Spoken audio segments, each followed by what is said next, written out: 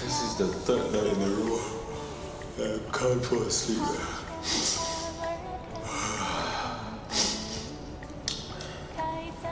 Maybe I'll go get a cup of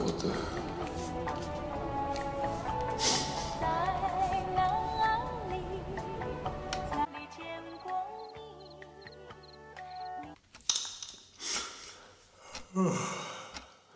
If I sleep in about 10 minutes, I should get about four, four and a half hours of sleep.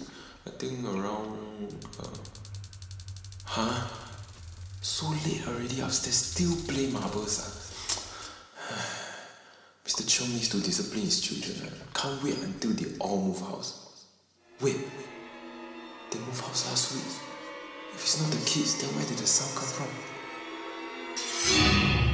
So, where did the HDB marble dropping sound come from?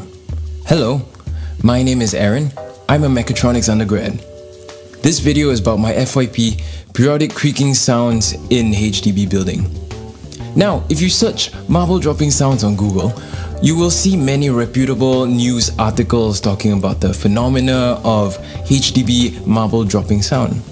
All of them seem to point to these four most common answers the mosquito trap, water hammer, contraction of concrete and rebar, and to the downright supernatural.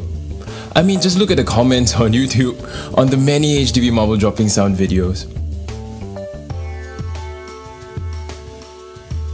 Well, in the span of two semesters, I have painstakingly reproduced these claims and with the help of my supervisor, Dr. Alfred Tan, I have successfully eliminated these sources. Do I know what causes the HDB marble dropping sound? Well, no, but I know for a fact that it is none of the stated causes. But until next time, thanks for watching.